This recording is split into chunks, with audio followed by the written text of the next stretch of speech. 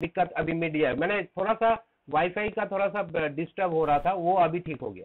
अच्छा तो हम क्या कह रहे थे? Why we locomote why we locomote we अच्छा इससे पहले हम लोग क्या डिस्कस कर रहे थे कि see examples of the locomotion right examples of the locomotion running walking jumping crawling swimming etcetera तो इससे पहले हम लोग क्या बात कर रहे थे? इससे पहले हम लोग बात कर रहे थे कि अगर आप एक जगह खड़े होके आपकी बॉडी को हिलाते हो तो वो आपकी मूवमेंट है, वो आपकी लोकोमोशन नहीं है।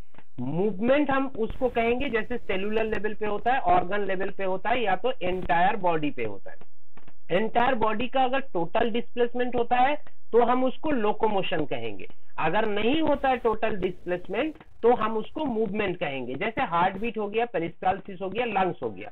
अगर आप एक जगह खड़े होकर हाथ पैर हिलाते हो तो आप उसको, हम उसको बिल्कुल लोकोमोशन नहीं कहेंगे, हम लोग उसको मूवमेंट कहेंगे। जैसे डब्ल्यूबीसी का मूवमेंट है तो वो उसका लोकोमोशन होगा, क्योंकि वो उसका सीडोपोडिया के ज़रिए होता है।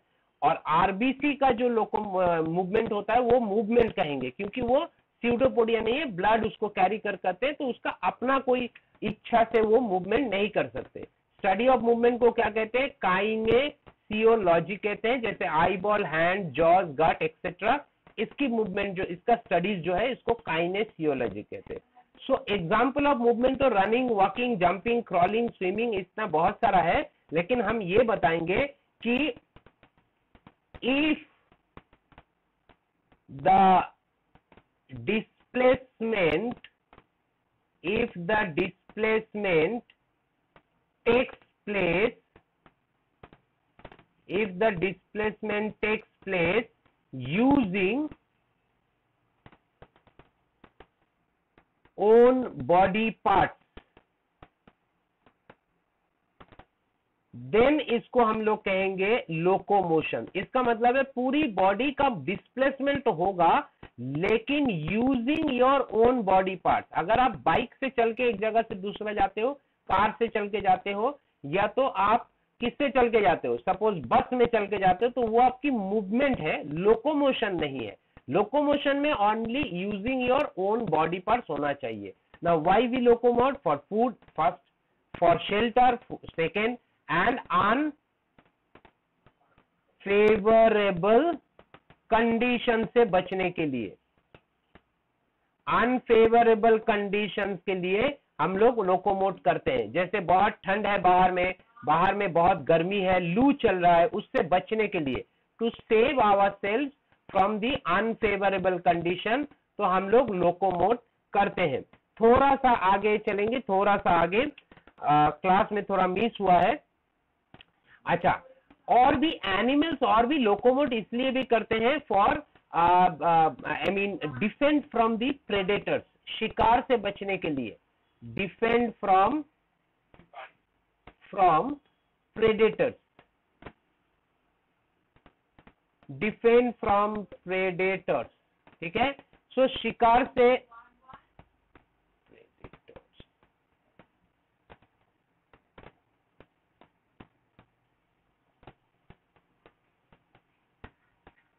डिफेंड फ्रॉम द प्रेडेटर इससे बचने के लिए। ठीक है? मेटिंग भी एक प्रोसेस है फॉर द लोकोमोशन ठीक है रिप्रोडक्शन भी एक प्रोसेस है। रिप्रोडक्शन के लिए भी एनिमल्स एक जगह से दूसरी जगह मूवमेंट करते हैं। ठीक है? अब हम लोग आज की ये करेंगे कि डिफरेंट एनिमल्स का लोकोमोटरी स्ट्रक्चर सो हम लोग बात करेंगे लोकोमोटरी स्ट्रक्चर ये करके आज की ये लेक्चर को खत्म करेंगे और आगे हम लोग बाद में बात करेंगे। Locomotory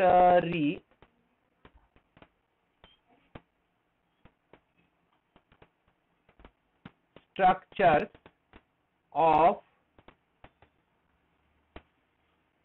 different animals different animals का लोकोमोटरी स्ट्रक्चर नेक्स्ट क्लासेस में हम लोग जहाँ से ये, यहाँ से हम लोग शुरू करेंगे तो अभी इस क्लास को एंड करते हैं और नेक्स्ट क्लास जस्ट यहाँ से शुरू करेंगे।